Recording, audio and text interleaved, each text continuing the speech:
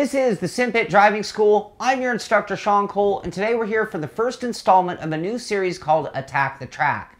Now, Attack the Track is designed specifically to help you learn how to be faster on a track. It is designed for beginner to medium level drivers, and each episode we will focus on a new track, looking at the map and focusing on the important parts of the track and where to put our energy when we get there. This series is not designed to teach you how to set up the car. It is not designed to teach you how to drive a particular car at a particular track. After all, that's going to change from sim to sim, from car to car. This is more about how to look at a track in a different way, how to eh, break down and look at the important sections and really focus our energy in the right way, making sure that we're always on the right driving line, doing the right thing with the car. So for our first installment, we're actually going to focus on Sebring. Sebring International Raceway dates back to 1950 and resides in Sebring, Florida, United States. It is one of the oldest constantly running tracks in America. The track was built upon an airfield, and that is what explains its flat surface and long straights. Sebring, in its full or international configuration, is a 17 turn, 3.7 mile, or 5.95 kilometer road course that is known for being extremely bumpy and that makes handling the flat corners even more difficult. At first glance, the first thing that is obvious about Sebring are the extremely long and straight straightaways, and this is basically because it's built on the airfield. You can see the airfield right there in the track map. But this also means that you can figure out in advance without even turning a lap that turn 16 and turn 17 both lead onto these straightaways and those corners are going to be the most important when it comes to overall speed and the lowest lap times.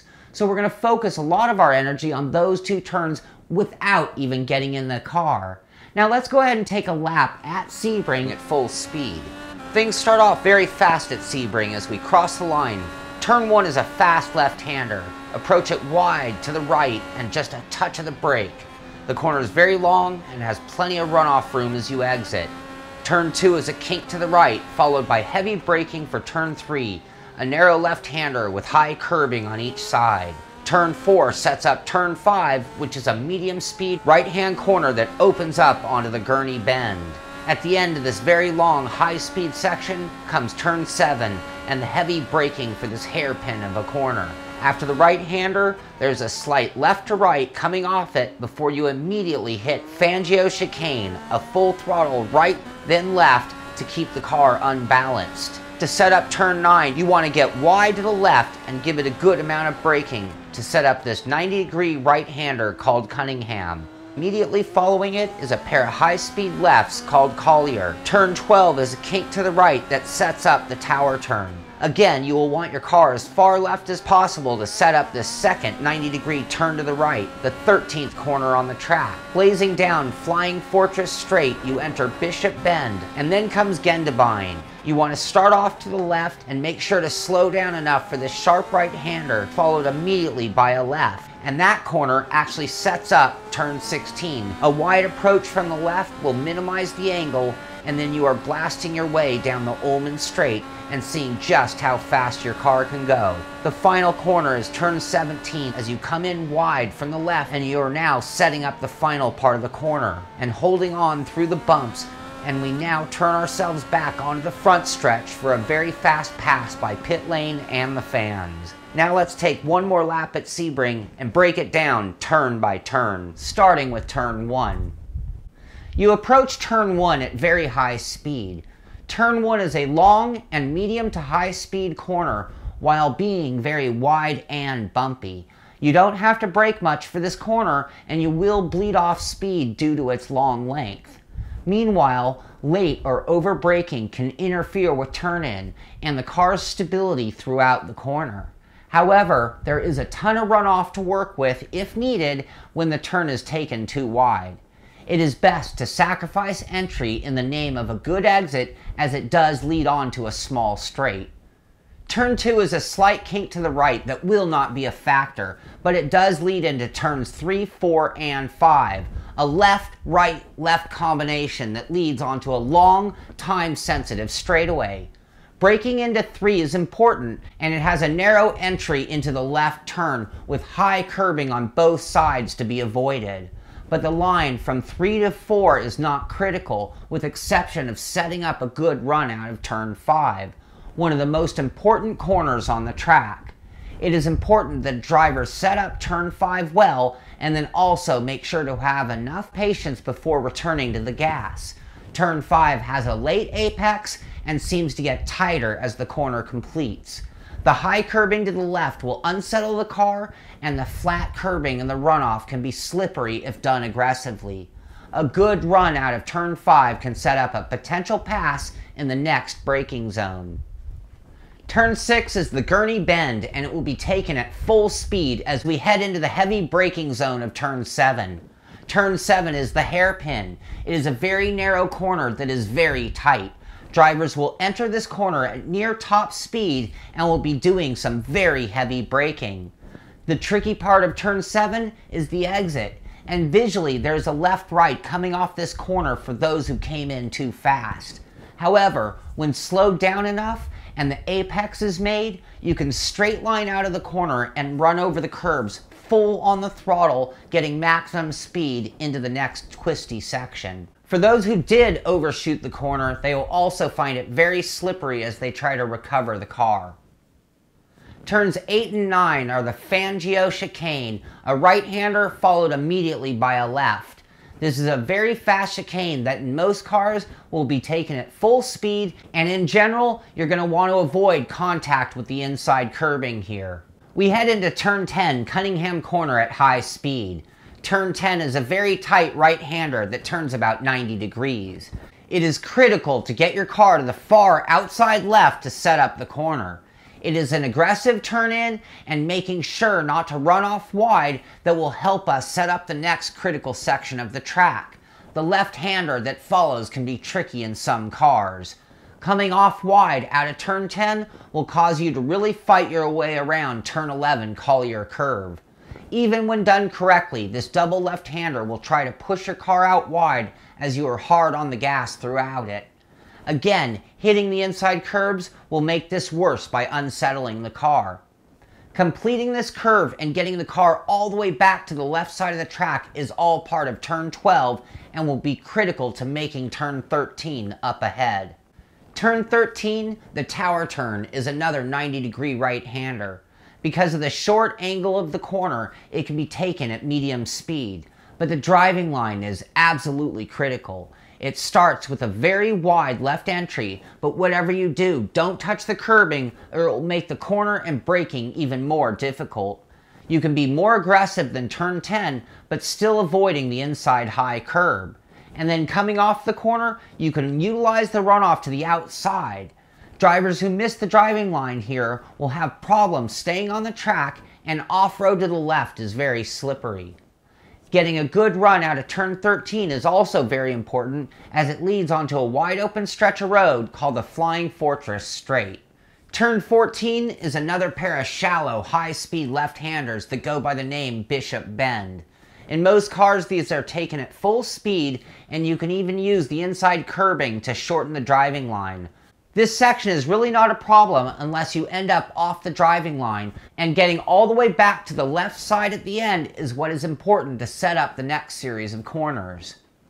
Turns 15 and 16 are actually three corners in my opinion, so let's call them 15, 15B, and 16.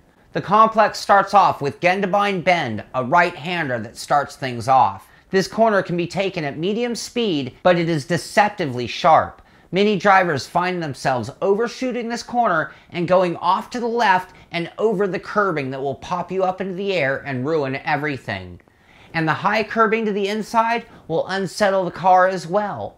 The left-hander that follows 15B is just a small kink and it sets up the most important corner on the track. Drivers must get their cars to the left and some will even go extremely wide to the left to make the angle of the corner even straighter. That corner is Le Mans Curve, or turn 16.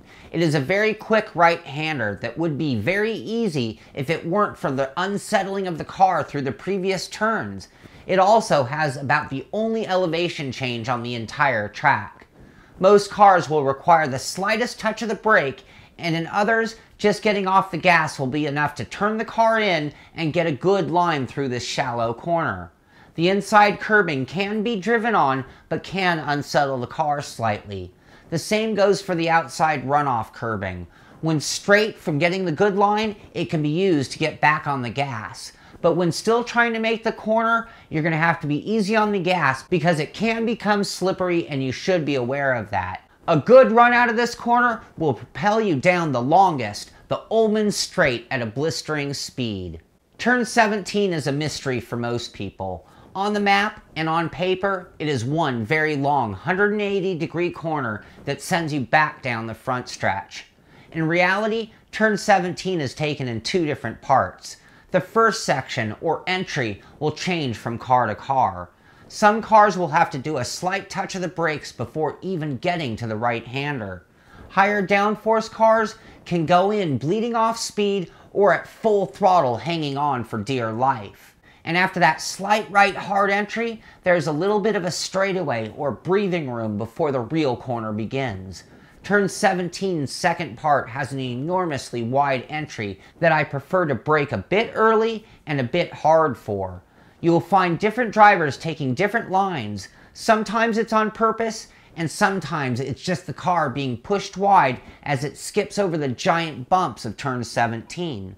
A warning, these bumps can make braking very tricky, and those who push it on the trail braking will find the car easy to spin if the front wheels grab too hard on any of the bumps.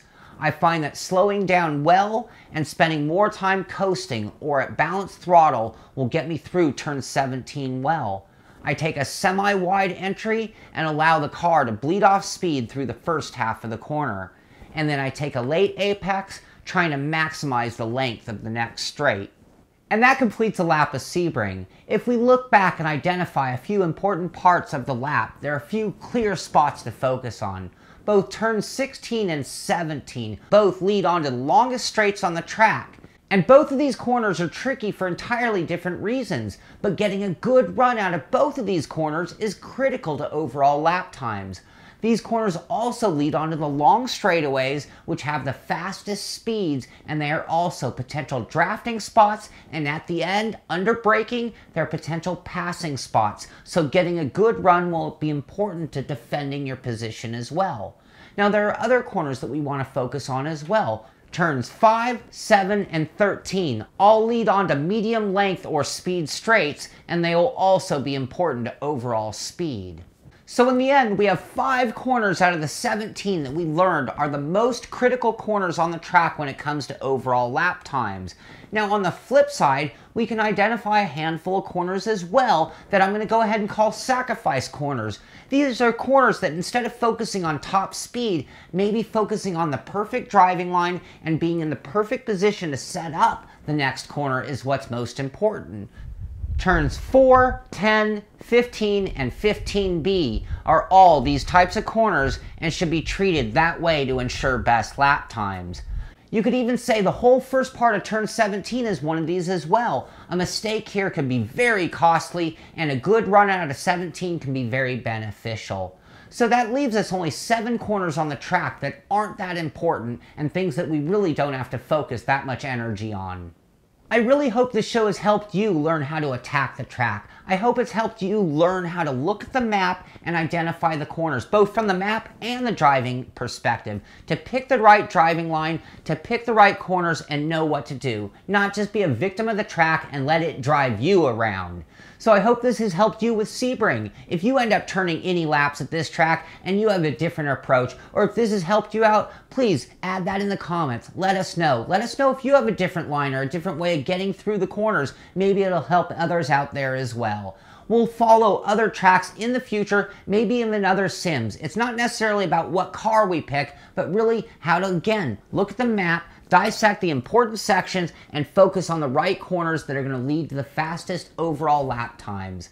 This is the SimPit Driving School. I'm your instructor, Shaun Cole, and I'll see you on the track.